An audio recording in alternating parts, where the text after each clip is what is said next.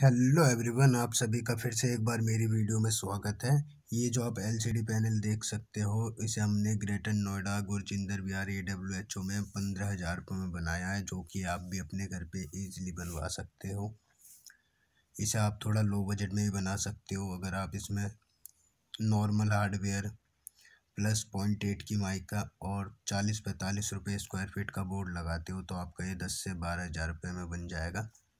और इसमें हमने वन एम की सीट लगा रखी है, जिसका कि रेंज पंद्रह हज़ार रुपये तक में चला गया है और बोर्ड भी अच्छे क्वालिटी का है।